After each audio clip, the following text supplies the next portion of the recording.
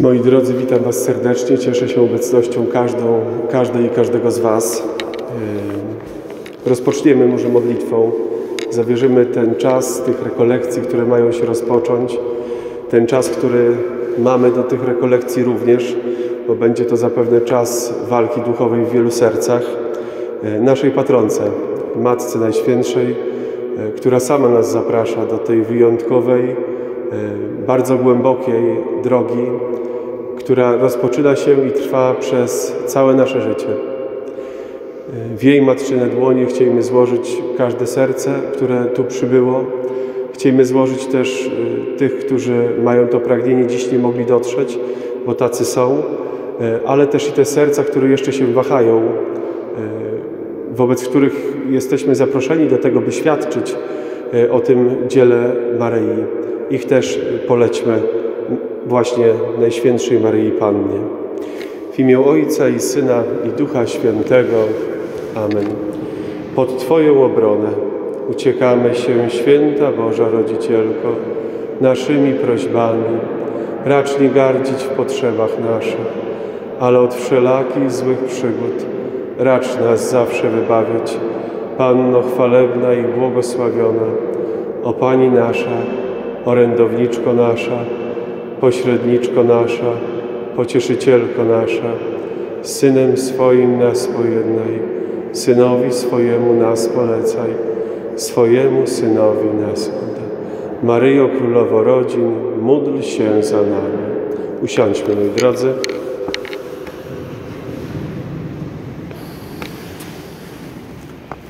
Więc rozpocznę może od tego, co możemy nazwać podręcznikiem, elementarzem dla tych, którzy e, zawierzają swoje życie Jezusowi e, w niewolę miłości przez ręce Maryi. Czyli będę się odwoływać na samym początku do fragmentu traktatu e, o prawdziwym nabożeństwie do Najświętszej Maryi Panny, bo to tak naprawdę tu jest napisana głębia, rozpisane i zewnętrzne formy, ale też i to, co się wewnątrz człowieka może dokonać chociaż ufam, że i, i, też wiem, że w wielu sercach dokonuje się o wiele więcej niż mógł się spodziewać święty Ludwik, autor e, tego traktatu. Ponieważ istota tego nabożeństwa tkwi we wnętrzu, które ma urobić, nie zostanie ono jednakowo przez wszystkich pojęte. Jedni poprzestaną na tym, co jest w nim zewnętrzne i nie posuną się dalej, tych będzie najwięcej.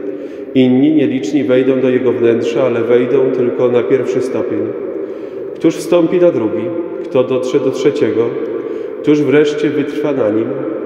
Ten tylko, komu Duch, Duch Chrystusowy te tajemnice wyjawił. On sam poprowadzi duszę wierną, by postępowała z cnoty w cnotę, z łaski w łaskę, ze światła w światło, a wreszcie doszła do przeistoczenia się w Jezusa Chrystusa, do pełności wieku Chrystusowego na ziemi Jego chwały w niebie.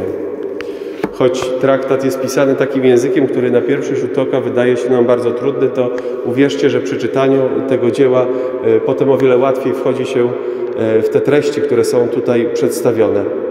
Więc święty Ludwik, moi drodzy, zaznacza, że głębia tego nabożeństwa, ona jest ogromna. E, I nie da się zgłębić tego tak za pierwszym razem. Oczywiście tu święty Ludwik pisze, że no właśnie Duch Chrystusowy ma tę moc. My się na tego Ducha otwieramy, na Ducha Jezusa Chrystusa, e, na Ducha Świętego e, i ufamy, że wejdziemy jak najbardziej w głąb, by z tego skorzystać. Piękno tego nabożeństwa polega na tym, że nawet ci, którzy zatrzymają się na formie zewnętrznej, to o czym mówi święty Ludwik, że takich osób będzie najwięcej, skorzystają bardzo wiele duchowo ponieważ te wszystkie znaki, w które będą nas wprowadzać te rekolekcje e, i te rozważania, które nas będą prowadzić przez te 33 dni, e, one bardzo mocno dotykają serca człowieka. E, I kto już ma to doświadczenie, ten, ten dobrze wie, tylko że no właśnie przeżywanie tego we wspólnocie, przeżywanie tych szczególnych nabożeństw w czasie Triduum przed zawierzeniem, to jest naprawdę błogosławiony i szczególny czas. To dzieło tak naprawdę ono rozpoczęło się w Radzeniu Podlaskim i ono się rozpoczęło e, tam i to wszystko się rozeszło jak iskry po ściernisku. Tego określenia żeśmy też w audycji używali, bo już w bardzo wielu parafiach to zawierzenie było zorganizowane, była możliwość przeżycia tych rekolekcji. I my pragniemy podjąć też ten trud i pójść o krok dalej, bo pragniemy, żeby powstała wspólnota niewolników Maryi, tych, którzy będą w każdą pierwszą sobotę formować swoje serce. Nie gdzie indziej, jak właśnie tu, w naszym parczewskim sanktuarium. Więc moi drodzy, to co już mówiłem w niedzielę, że to zaproszenie na tę rekolekcję to zaproszenie samej Maryi. Dziś nie udało się, by przybyli ze świadectwem ci, których chciałem tutaj do nas zaprosić. Niemniej jednak, e, dlaczego dzieło Maryi? Ano dlatego, moi drodzy, dzieło Maryi, że to e, sama Maryja zapraszała bardzo wiele osób w mojej wcześniejszej parafii do tego, e, aż w końcu znak zewnętrzny, o którym mówiłem, czyli łańcuszek zawierzenia, tak naprawdę stał się początkiem tego dzieła, które się tam rozpoczęło. Dlatego od tamtej pory wiem, że to wszystko, co przeprowadziła Maryja, bo to się zadziało w błyskawicznym czasie, co po ludzku no chyba trudne by było do zorganizowania. Y, I to poruszenie serc Maryi, na które odpowiada tak wiele osób, myślę, że to jest znak naszych czasów. Gdzie Maryja, y, ona jest najpewniejszą drogą do pięknego, świętego życia i do tego, żeby trwać przy Jezusie Chrystusie. I te 33 dni rekolekcji, które się mają rozpocząć, to taki szczególny czas, kiedy Chrystus będzie nas zapraszał przez swoją Matkę do kolejnych kroków wiary, do kolejnych wyzwań w naszym życiu duchowym. Święty Ludwik bardzo y, pięknie pisze, i to jest niezmiernie ważne, na tym polega nabożeństwo przeze mnie głoszone, będące właściwe tylko doskonałym odnowieniem ślubów i przyrzeczeń złożonych na Chrzcie Świętym. My wiemy, że w większości każdy z nas y, chrzest przeżywał jako niemowlę, jako dziecko e, i to w wierze rodziców zostaliśmy ochrzczeni. I przychodzi ten moment, kiedy człowiek tą odpowiedzialność za swoją wiarę bierze tak naprawdę na siebie. Takim umownym sakramentem jest sakrament bierzmowania, choć coraz bardziej wydaje się okazuje, okazywać, że to sakrament dojrzałości tak naprawdę nie jest, bo on z dojrzałością ma niewiele wspólnego, a wręcz często jej zaprzecza. E, to przychodzi taki moment w życiu człowieka, kiedy człowiek doświadcza takiej bliskości Pana Boga, takiej bliskości Chrystusa i takiej bliskości Maryi, e, że ma w sobie tyle siły i mocy i tak wielkie pragnienie, e, by na to wszystko, co Jezus daje, by odpowiadać. Odpowiadać swoim życiem, pięknem swojego życia. A jeśli pięknem swojego życia, to nie czym innym jak tym, że pragniemy żyć zobowiązaniami Chrztu Świętego, czyli wyrzekać się złego, wchodzić w tajemnicę naszej wiary, wyznawać tą naszą wiarę i nieść to świadectwo naszego życia, świadectwo Ewangelii wszędzie tam, gdzie nas Jezus Chrystus będzie posyłać. To z mocy Chrztu Świętego każdy z nas, wszyscy jesteśmy wezwani, zaproszeni do tego, by iść i zanieść Ewangelię wszędzie tam, gdzie nas Jezus będzie stawiał. Najpierw to będą ci, z którymi żyjemy na co dzień. I wiemy, że to właśnie tym najtrudniej jest głosić Ewangelię. Najtrudniej wobec naszych najbliższych jest tam świadczyć. I to często właśnie wobec y, od najbliższych najwięcej potrafimy, że tak powiem, oberwać. Za to, że pragniemy nieść im Chrystusa. Te 33 dni prowadzić nas będą, tak jak już mówiłem w niedzielę, y, przez takie kolejne tematy, które będą dotykały naprawdę głębi naszych serc. E, posłużą nam w tym e, konkretne rozważania, o tym za chwilę powiem. E, I moi drodzy, trzeba by było dziś, tak sobie myślę, mm, trwać nam w wielkim dziękczynieniu za to, że nasze serce było gotowe odpowiedzieć na to zaproszenie, bo jest to naprawdę szczególna łaska. I ci, którzy przeżywają te rekolekcje, sami zresztą zobaczycie na koniec ten moment zawierzenia i tego wszystkiego, co się dokona w życiu, w sercach, kiedy będziemy patrzyli wstecz tych rekolekcji, choć trzeba sobie powiedzieć, że te rekolekcje zapewne będą okupione e, i jakimś cierpieniem, i bólem, e, i wieloma wyzwaniami, i walką duchową, bo tak się będzie działo, e, bo zły naprawdę potrafi rzucać płody pod nogi bardzo mocno i niszczyć to dzieło. Tego żeśmy też doświadczyli, jak żeśmy organizowali te rekolekcje w Radzeniu Podlaskim. Począwszy od tego momentu, kiedy się miało rozpocząć, kiedy no, dzień przed zdarzył się wypadek i no to ja przewodziłem tym rekolekcjom i znalazłem się w grobowcu bardzo głębokim, trzymetrowym i tak naprawdę nic mi się nie stało, oprócz tego, że się pobijałem. No naprawdę wielka łaska boska. Potem inni, ci, którzy mieli pomagać w organizacji tych rekolekcji, no doświadczali wielu trudności, ale nie mówię tego po to, żeby się ktoś wystraszył, tylko po to, żeby się ucieszył. Ucieszył z tego, że e, dzięki temu wiemy, że jest to naprawdę dzieło Boże, bo dzieło Boże jest okupione zawsze trudnościami. Ale kiedy człowiek wie, że bierze udział w wielkim dziele, w dziele Pana Boga, w dziele Maryi, to nie lęka się i idzie, zawsze z mocą. Każdy dzień, tak jak mówiłem, e, tych rekolekcji będzie dniem przeżywanym tak naprawdę indywidualnie. Dlatego bardzo wiele zależy od nas, jak przeżyjemy ten czas. Te treści, które będą nam dawane i te rozważania, na których my się będziemy chcieli oprzeć, są rozważaniami bardzo głębokimi zaczerpniętymi nie tylko z księgi y, traktatu o prawdziwym nabożeństwie, ale oczywiście jest tam fragment Pisma Świętego, są przypisane konkretne modlitwy na dany dzień, na dany tydzień. I to wszystko, zobaczycie, jak będziemy to przeżywać, będzie się składać w taką jedną piękną całość. I, i każdy ten, no ciężko powiedzieć tydzień, bo pierwszych dni będzie więcej, każdy etap będzie tym, kiedy naprawdę zrobimy wielki krok w naszej wierze. I tak jak mówiłem na samym początku, będziemy chcieli poznawać świat, który nas otacza. Y, po to, by się Jego wyrzec. Bo ten, kto idzie za Chrystusem, nie może żyć duchem tego świata. Duch tego świata, duch Ewangelii to są zupełnie dwie różne drogi. Dlatego świat się tak wścieka, dlatego tak neguje drogę Bożą, dlatego tak y, podchodzi wobec wierzących, bo jest to zupełnie inna tajemnica, którą głosi. I kiedy staniemy wobec tego świata i zobaczymy y, wprawdzie ten świat, ale też i siebie w tym świecie, gdzie myśmy zaszli, gdzie nas nasza grzeszna natura poprowadziła, gdzie nas nasza chęć ustawienia się, życia trochę po swojemu, gdzie ona nas dopadła, wtedy będziemy świadomie chcieli się od tego odciąć. A kiedy już masz w swoim sercu to pragnienie, to już jesteś na dobrej drodze. I trzeba nam, moi drodzy, pamiętać też o jednym, że trzeba mieć cierpliwość do siebie samego. Bo kiedy nam zaczyna brakować cierpliwości do siebie samego, no to wtedy zaczynamy sobie kąki na głowie ciosać, yy, zaczynamy się denerwować, wmawiać sobie, że to może nie dla nas, że inni zaszli gdzieś poziom wyżej. To nie chodzi o to, byśmy się porównywali i żebyśmy patrzyli, yy, komu to nabożeństwo więcej dało. Ile Pan Bóg z Maryją nam przewidzieli, tyle otrzymamy.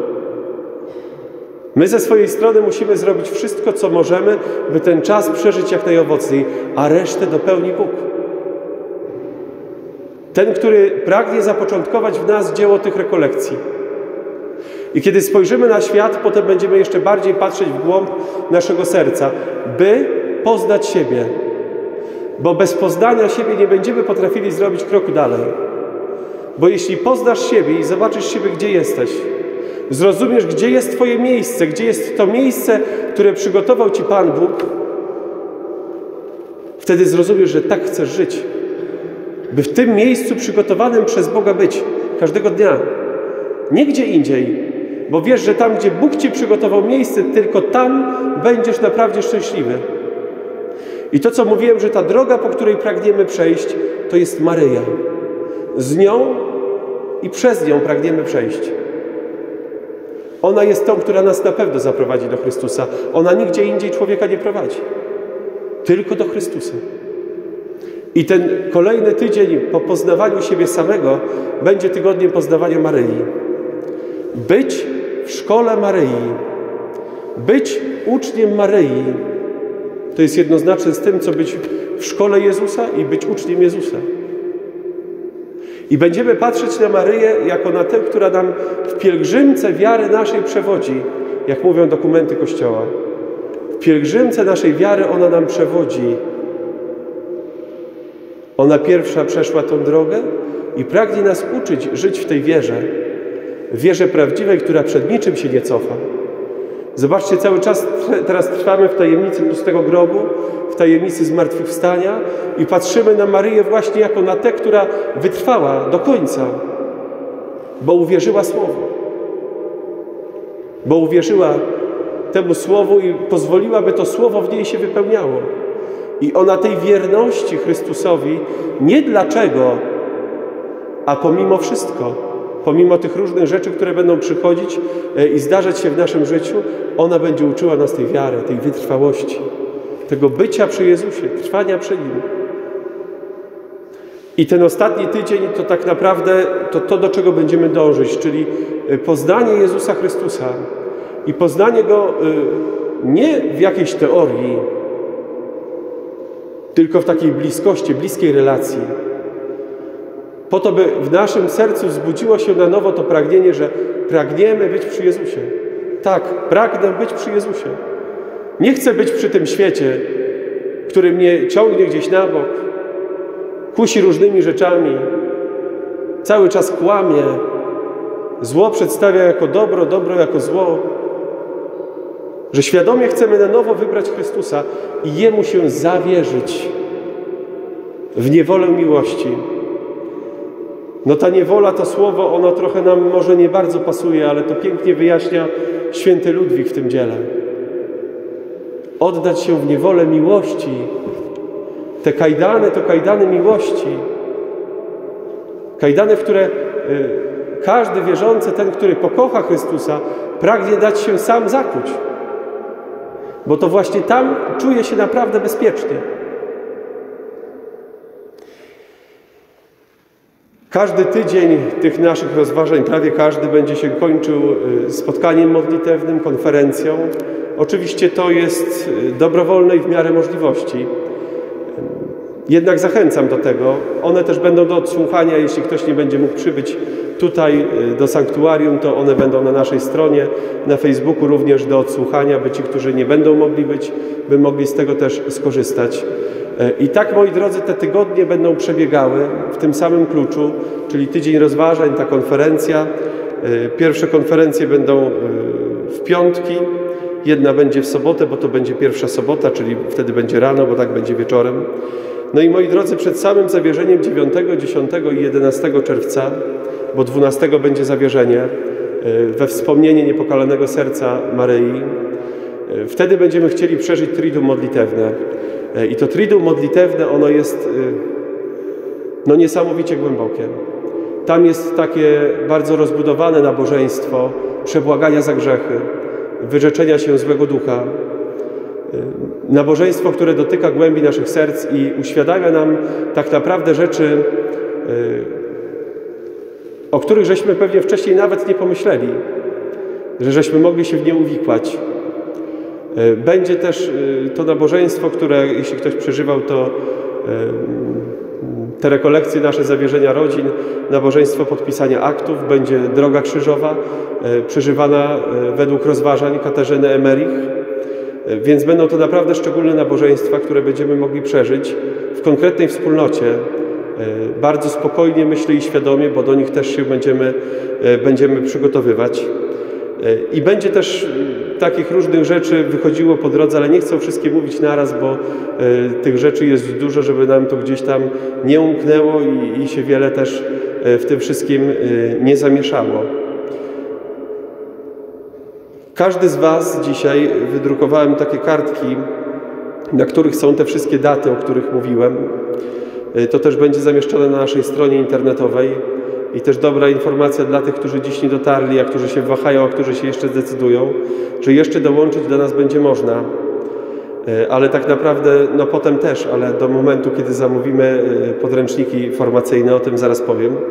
Więc moi drodzy, początek e, naszych rekolekcji będzie dzień po naszym święcie diecezjalnym zjeździe rodzin, czyli 10 maja o godzinie 18. Rozpoczniemy mszą świętą, potem wspólnym nabożeństwem przed wystawionym Najświętszym Sakramentem. Wtedy wspólnie odprawimy pierwszy dzień rozważań. Kto nie będzie mógł przybyć, to wcześniej będzie musiał się po te rozważania zgłosić, tak żeby móc zacząć 10 maja wspólnie z nami, czy to w swoim domu, czy tu, ale żeby zacząć 10, 10 e, maja. To jest niezmiernie ważne. E, I potem kolejno, moi drodzy, te wszystkie spotkania, e, które będą, Triduum. I ani się obejrzymy, będzie 12 czerwca. Ten czas 33 dni, uwierzcie, naprawdę biegnie bardzo szybko. Ważne jest to, aby sobie każdego dnia znaleźć ten czas na to swoje rozważanie. Ile czasu kto będzie potrzebował, E, tyle znajdzie. Zobaczycie długość tych rozważań. E, każdy dzień tak naprawdę jest, e, ma rozważania innej długości, innej też bym powiedział intensywności i głębi. Więc myślę, że Duch Święty będzie prowadził każdego z nas różnymi drogami, ale w jednym kierunku. To jest, myślę, w tym wszystkim bardzo, bardzo ważne. Więc moi drodzy, wracając do tych spraw już takich organizacyjnych, jeszcze przed rozpoczęciem naszych rekolekcji. E, podręcznik formacyjny, którym się będziemy posługiwać, który no według mojej oceny tak naprawdę, ale też i wielu księży w naszej diecezji, którzy też się już tego zawierzenia podjęli i to zawierzenie prowadzą, e, będzie to przygotowanie do aktu zawierzenia się Jezusowi z wydawnictwa SP, czyli z wydawnictwa Ojca Pijarów. Myślę, że jest on bardzo przejrzyście ułożony, ma dodatkowe teksty, które naprawdę potrafią dotknąć głębi Wszystkie modlitwy, które, które są, są też tutaj zawarte e, w tej książce, w tym modlitewniku. E, no i myślę, że posłuży na lata, dlatego że no, święty Ludwik zaprasza nas do czego? Skoro na początku powiedział, że niektórzy zatrzymają się na stopniu pierwszym, znaczy na tym zewnętrznym, kolejni wejdą stopień wyżej, kolejni gdzieś tam jeszcze wyżej, e, inni zostaną jeszcze w innym miejscu, więc to wszystko, co rozpoczyna zawierzenie, to pewna droga. I święty Ludwik zaprasza nas do tego, byśmy co roku uroczyście odnowili to zawierzenie. Świętem patronalnym osób zawierzonych jest 25 marca, uroczystość zwiastowania Najświętszej Maryi Pannie. Właśnie wtedy jest święto tych wszystkich, którzy zawierzają się Jezusowi e, w niewolę miłości. E, I święty Ludwik zaprasza nas do tego, by tę drogę przechodzić, tych podręczników jest naprawdę bardzo wiele, te treści są różne, ale uwierzcie mi, że ja już te treści kilkakrotnie z tej samej książki przerobiłem i za każdym razem te treści inaczej dotykają serca człowieka. Nie dlatego, że te treści się zmieniają, tylko dlatego, że serce nasze się zmienia. I już jutro będziemy zupełnie inni. I jutro już inaczej będziemy postrzegać ten świat, który nas otacza, rzeczywistość. Inaczej będziemy patrzeć na osoby, które żyją wokół nas, Dlatego to słowo będzie inaczej nas dotykać. E, my te podręczniki będziemy zamawiać, jeśli ktoś chce. Jeśli ktoś chce korzystać oczywiście z innych, które ma, być może z wcześniejszych zawierzeń, też taka możliwość jest. Tylko trzeba liczyć się z tym, że jeśli będziemy się odwoływać do tego podręcznika, no to trochę ciężko będzie znaleźć, e, no właśnie, ten sam kierunek, bo te teksty są naprawdę e, rozbudowane. Ja poprosiłem tutaj, e, dziewczyny mają listę, kto by chciał, żeby taką książkę e, mu zamówić, to taka możliwość będzie, ona będzie do odbioru. No myślę, że gdzieś za tydzień już pewnie, ale jeśli ktoś zamówi tą książkę i będzie rozpoczynał z nami 10 maja, to wtedy będzie można też ją przed samym, przed samym nabożeństwem 10 maja tu w kościele odebrać. Więc jest to jedna książka. Koszt tej książki to 20 zł. Jeśli ktoś chce, żebyśmy zamówili, to ją zamówimy. Tam pani Irenka z innymi zbiorą te e, dane potrzebne nam imię i nazwisko, żebyśmy wiedzieli, kto potem ma e, ją odebrać. I druga rzecz, moi drodzy, mam nadzieję też, że wiele osób już z Was ma, e, elementarz, czyli traktat o prawdziwym nabożeństwie do Najświętszej Maryi Panny. Też w tym wydawnictwie, w którym zamawiamy, w którym tak naprawdę mamy zniżki, też dlatego tam zamawiamy. E, jest taki traktat.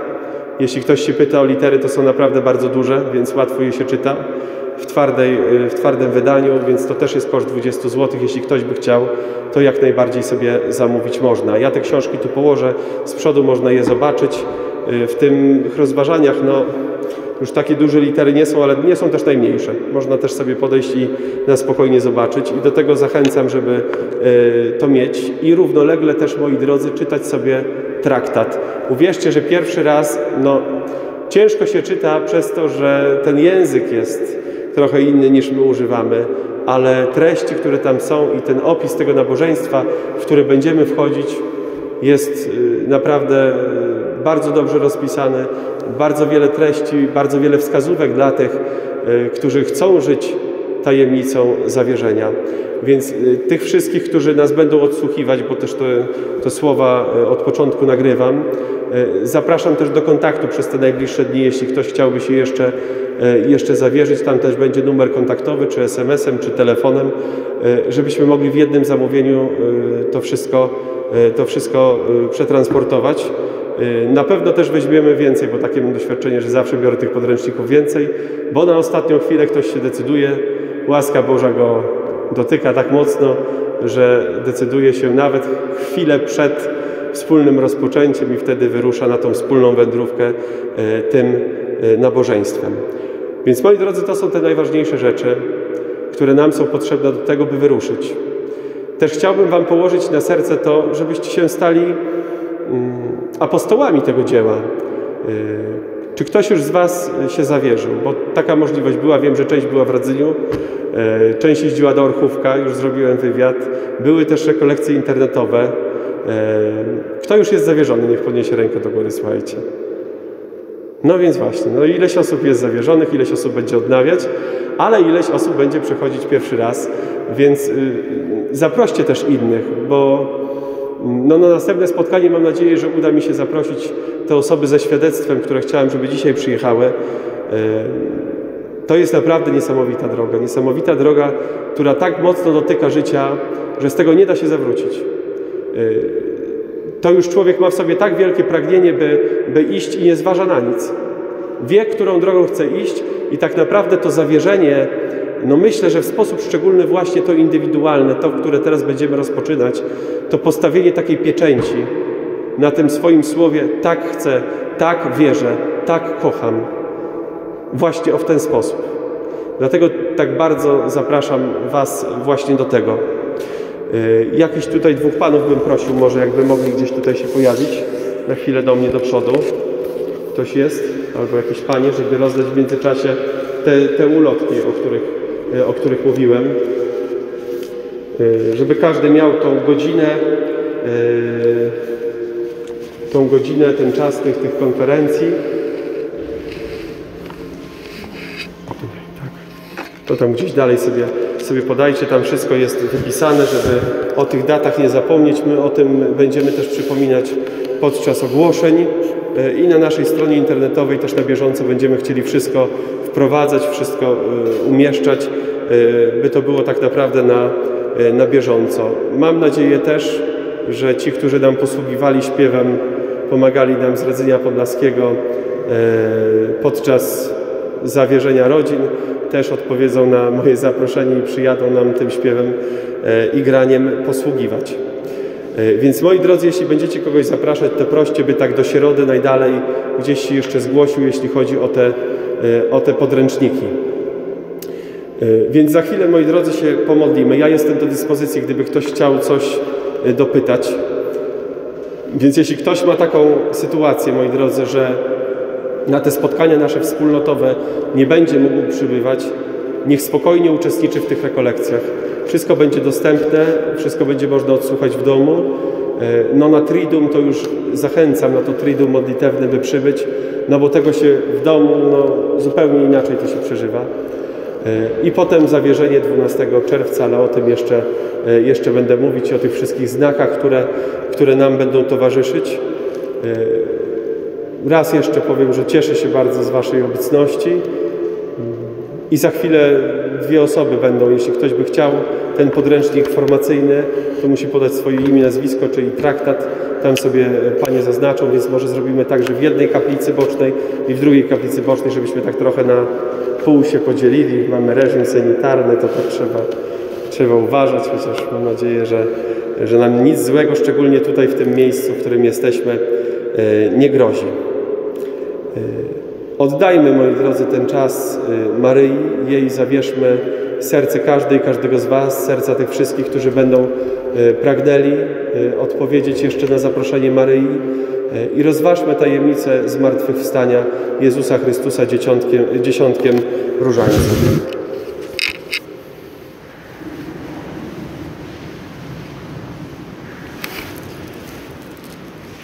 Ojcze nasz, któryś jest w niebie, święć się imię Twoje, przyjdź królestwo Twoje, bądź wola Twoja jako w niebie, tak i na ziemi.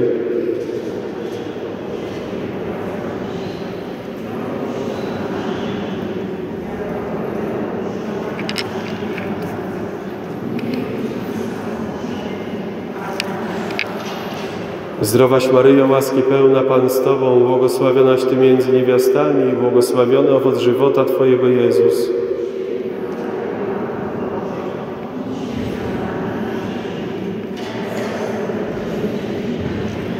Zdrowaś Maryjo, łaski pełna Pan z Tobą, błogosławionaś Ty między niewiastami i błogosławiony owoc żywota Twojego Jezus.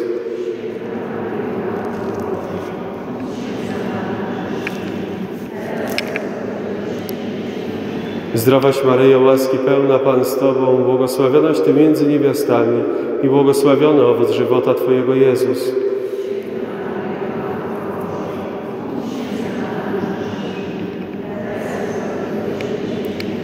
Zdrowaś Maryjo, łaski pełna Pan z Tobą, błogosławionaś Ty między niewiastami i błogosławiony owoc żywota Twojego Jezus.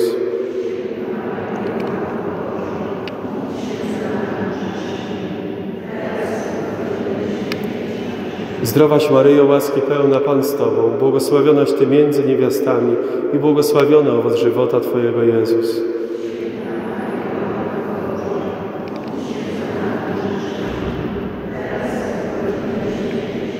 Zdrowaś Maryjo, łaski pełna Pan z Tobą, błogosławionaś Ty między niewiastami i błogosławiony owoc żywota Twojego Jezus.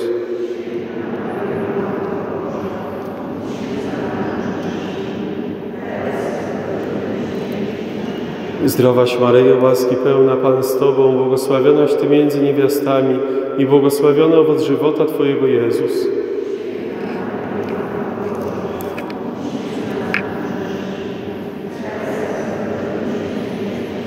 Zdrowaś Maryjo, łaski pełna Pan z Tobą, błogosławionaś Ty między niewiastami i błogosławiony owoc żywota Twojego Jezus.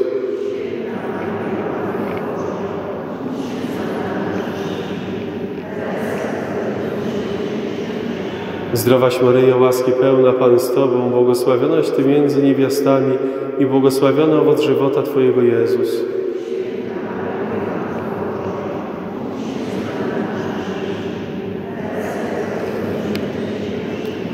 Zdrowaś Maryjo, łaski pełna Pan z Tobą, błogosławionaś Ty między niewiastami i błogosławiony owoc żywota Twojego Jezus.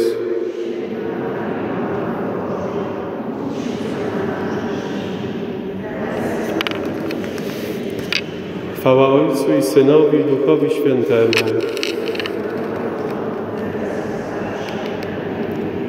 O mój Jezu, przebacz nam nasze grzechy, zachowaj nas od ognia piekielnego, zaprowadź wszystkie dusze do nieba, szczególnie tym, którzy najbardziej potrzebują.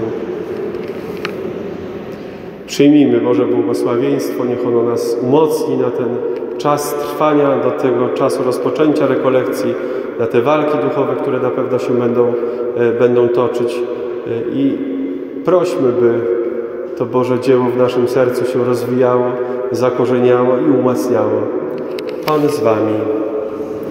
Niech Was błogosławi Bóg Wszechmogący, Ojciec i Syn i Duch Święty. Trwajcie w pokoju Chrystusa.